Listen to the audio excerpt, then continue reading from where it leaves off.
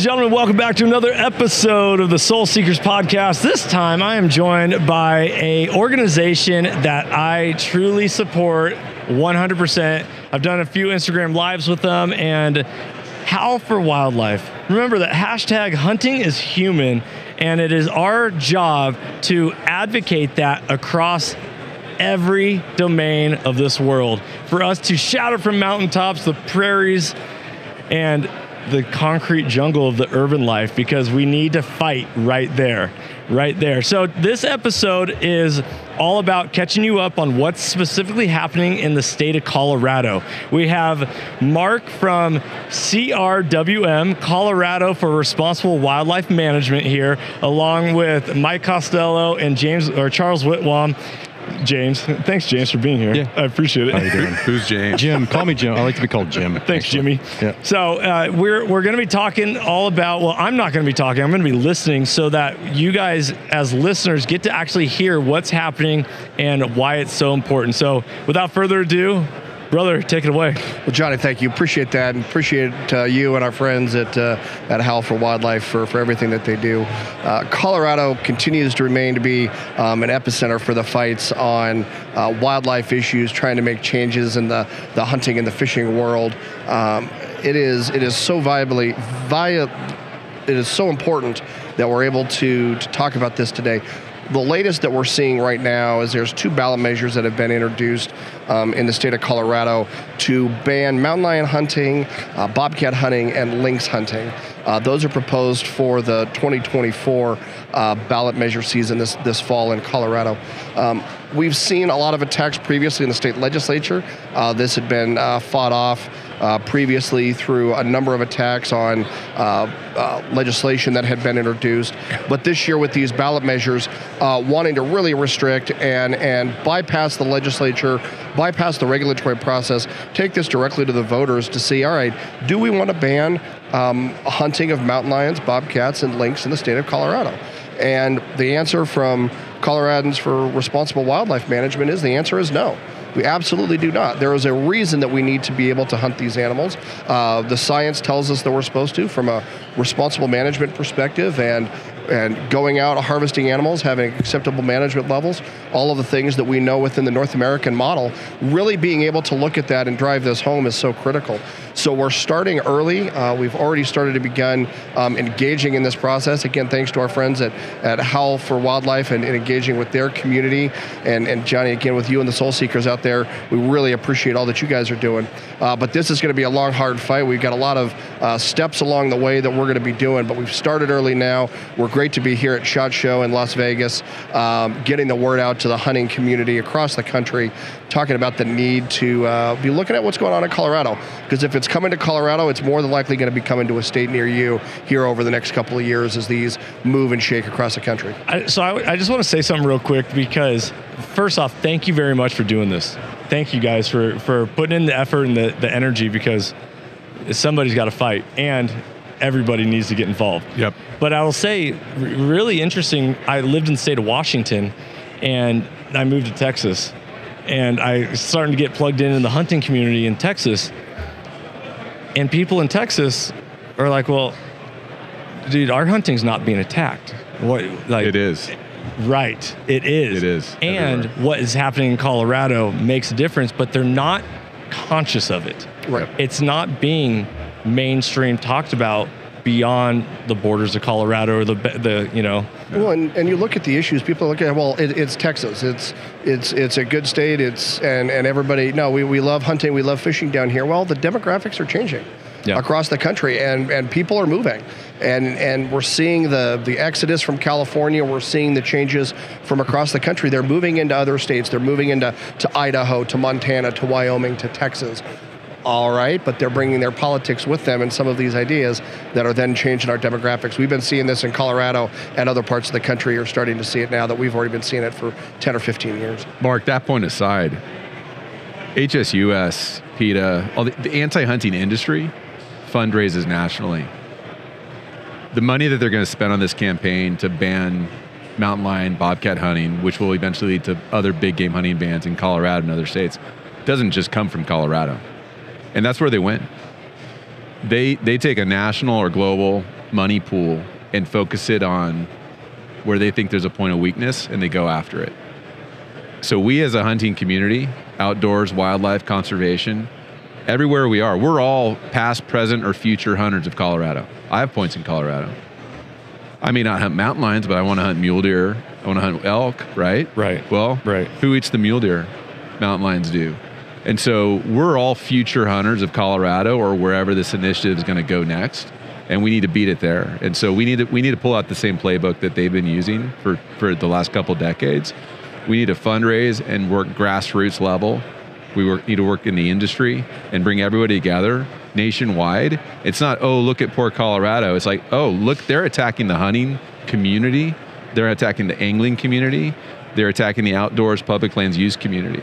Mm. And so this is something that everybody needs to say, we're going to get involved. I mean, what's a box of ammo cost these days? 50 bucks? Gas, take a gas, much. 100 bucks. right. Well, yeah, it's too much. But, but really, when you get down to it, anybody that even daydreams about going to Colorado to hunt, the investment that they can make in winning this, because we are going to win, is a, a, it's a pittance compared to the investment in time, money, and focus that we give to just going there and enjoying the hunt Right. and it's uh, it's something that we're rallying. So that and I think that what, what we're seeing right now is is people. Um, last week we were at Sheep Show, Wild Sheep Foundation. Thank you to Wild Sheep. They stepped up and within a very short notice let us throw in a, uh, a mule deer hunt that raised fifty thousand dollars in their auction. Elk hunt. Elk hunt. Sorry, I keep saying mule deer. Mule I deers. I love mule deer. I love mule love deer, that's hunting all. mule You're, you're a muley guy. Yeah, so uh, elk hunt, fifty thousand dollars. So one of the conservation orgs basically let CRWM get involved and do some direct fundraising in their event. That's the kind of collaboration that we're looking for from the industry, the other NGOs, the other conservation orgs, and then every hunter, whether a coyote hunter, a bass fisherman, a mule deer hunter, bear hunter. We've all got to get involved. What about trout fishermen? trout? I, I respect trout fishermen, especially fly, catch and release fly fishermen. Bow So- fishermen. yeah, so we Carp. we basically this is not a Texas. Oh, look at Colorado. We're sorry. We all have to be involved in this, and right now we're awakening, and the community is really starting to rally. And uh, I think it's gonna it's gonna be a win, but it's gonna be hard.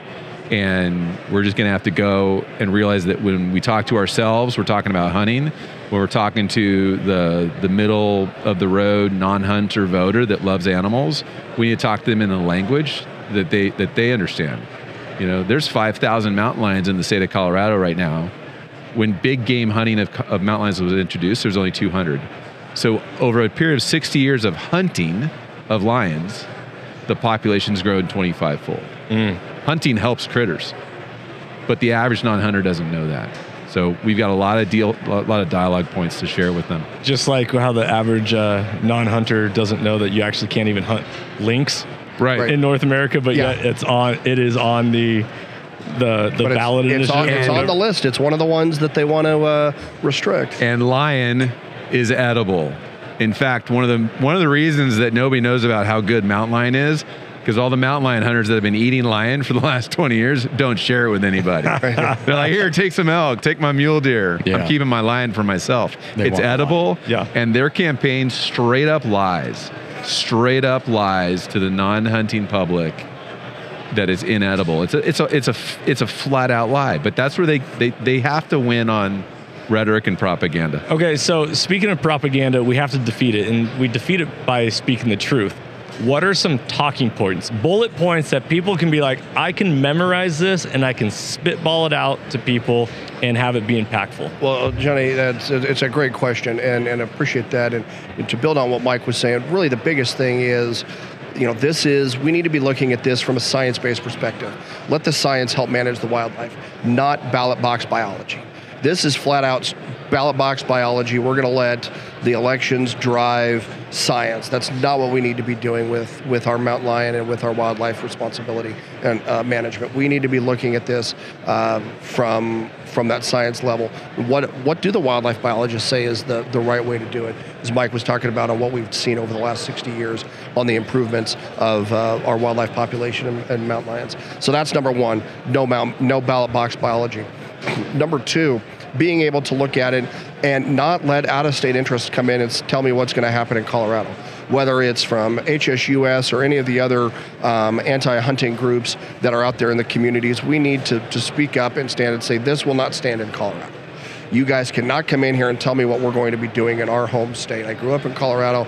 I am very proud and very passionate of, of the work and the opportunities that we have to, to hunt and to fish and to recreate in Colorado. But our out-of-state act, these out-of-state activists cannot come in here. And third and finally, we need to look at this from what actually needs to happen on the ground. And and how can the communities across our state uh, and across the country be looking at going this can't come here.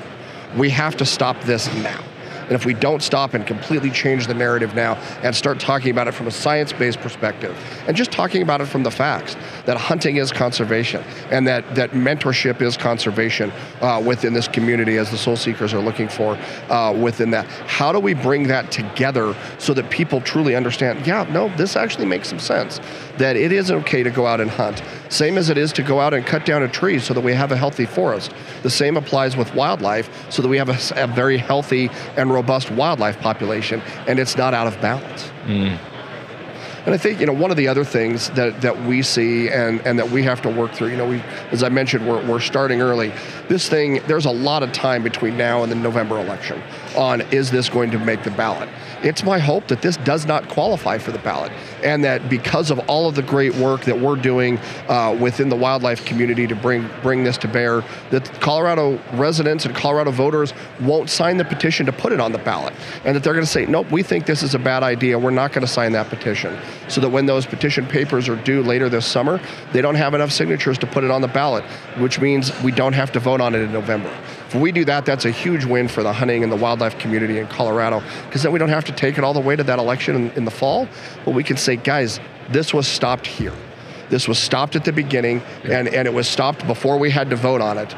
Can we move past this now and move on to other more important things that we need to be dealing with in our society instead of trying to ban something that has been part of our heritage for so many generations? Mm. So that's, you know, as we're working through the different steps, the fight is now, and if we start this early, it's going to be a lot better than if we have to take it all the way to November. Awesome. I love that. Talking points.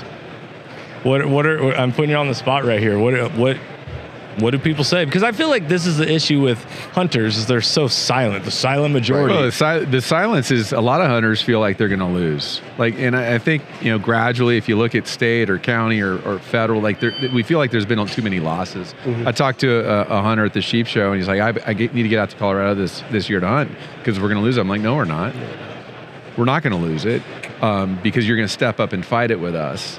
And so we can't have a fatalistic attitude that everything just goes away, goes goes against us because it doesn't always go against us. This issue, three times at the commission in Colorado, one time in the Senate in Colorado, and we've won that.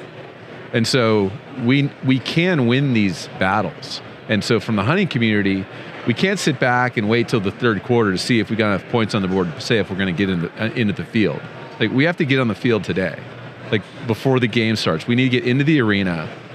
We know that the rule we don't like the rules, but whatever. The rules are the rules. We need to get in the arena and we need to be able to play and play the entire game. And so we're looking for grassroots act- activation right now. We're looking for hunters in Colorado that are willing to like walk their neighborhood, talk to their coworkers, their neighbors, and their family that let them know what their values are. They don't want them to vote for this. Um, and we need, you know, bluntly, we need industry stakeholders and, and other NGOs to, to really step up the fight. We need we need everybody that's listening today to go talk to five of their friends that that don't listen to the Soul Seekers podcast and say, guys, here's what you need to know about this, and here's actually what's going on out there.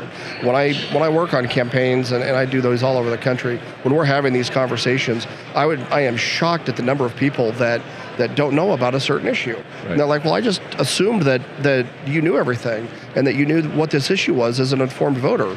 And it's funny how they don't. So as we're looking at it, you know, to your point on talking points, no ballot box biology, number one. Number two, looking at this, and we've got to keep out of state interests. Those are the two biggest components that we have, uh, being able to work through it. That's what we're seeing right now. This has nothing to do with what's on the ground in Colorado. I love that. Uh, Charles, aka Jimmy, you just handed me uh, something. Would you want to read this, or you want me to go over You- these you points? read it. Okay. So this is from Howl for Wildlife's Mountain Lion Talking Points and Colorado. Sorry, CRWM uh, Mountain Lion Talking Points for social media influencers. FYI, just in case you don't consider yourself an influencer, everyone has a sphere of influence, and Yes. you get Yeah. to uh, make the big time where you are at. 100%. That's it. So Be the uh, leader. yeah, be be the leader of your own life before you uh, follow the sheep to uh, the slaughter. All right, here we go.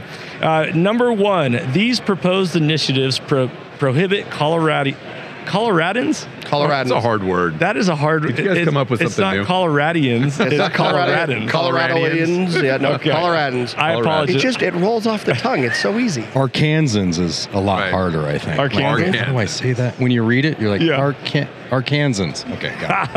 I'm going to start that over. Yeah. These proposed initiatives prohibit Coloradans from enjoying their outdoor heritage. Okay, there you go.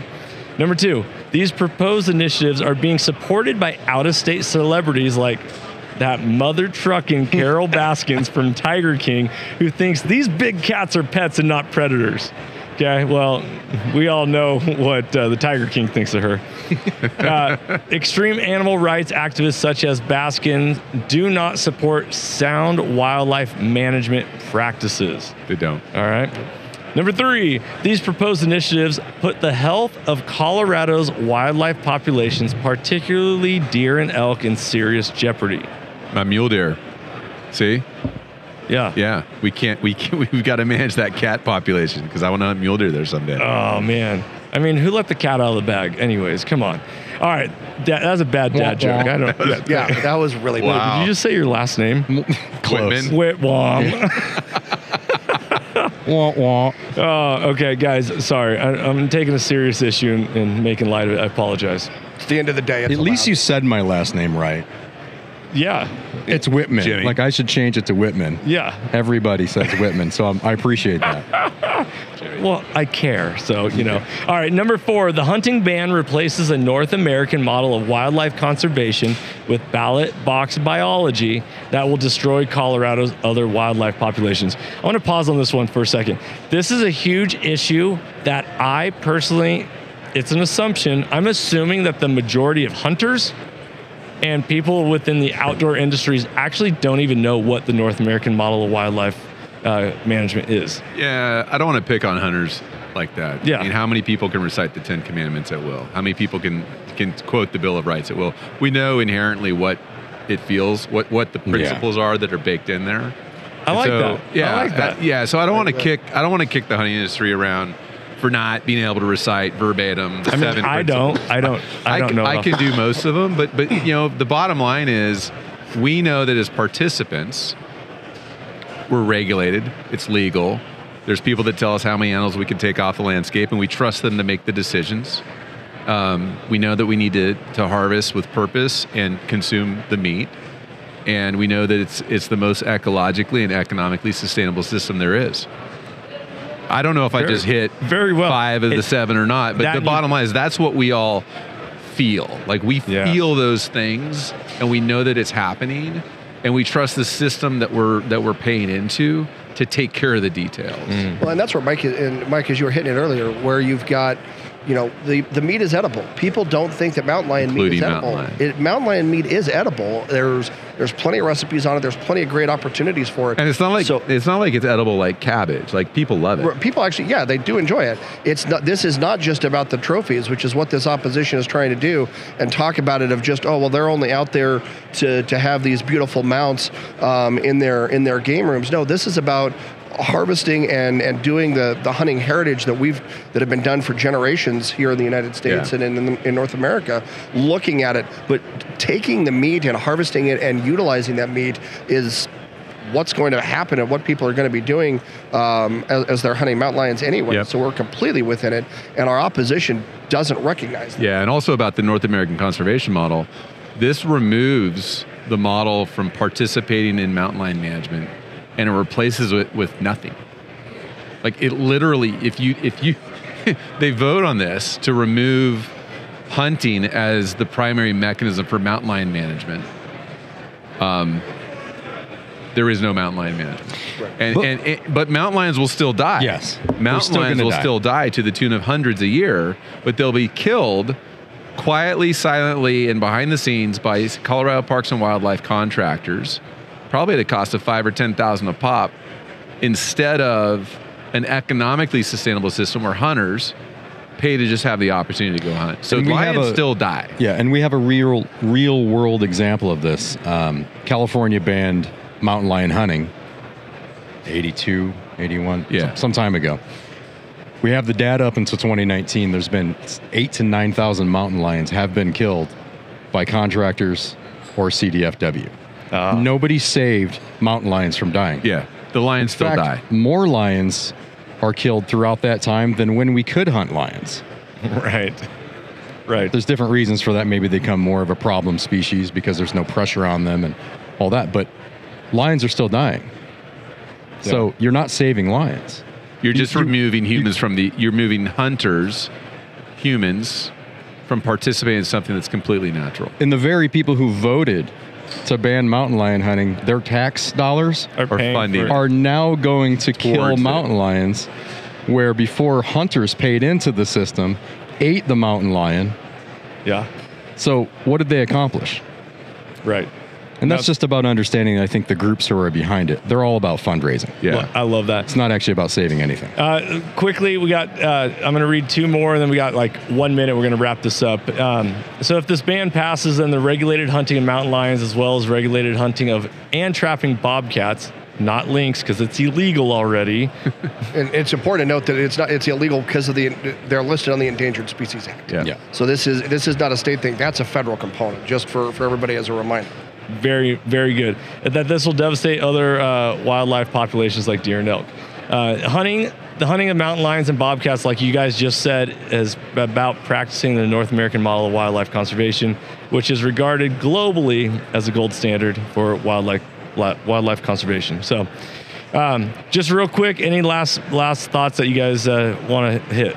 my biggest thing one johnny charles mike thank you biggest thing get engaged go to uh, savethehuntcolorado.com get engaged help us out there. We've got a donate button if you can give $5 $10 would love to have that opportunity. Um, our talking points are all on there. Let us know if you have questions uh, through our portal on, on what we could need. But be looking at it not only what's going on in colorado but these there's uh, hunting and fishing issues in in washington and oregon and other parts of the country. So take a look to see what's happening in your part of the world.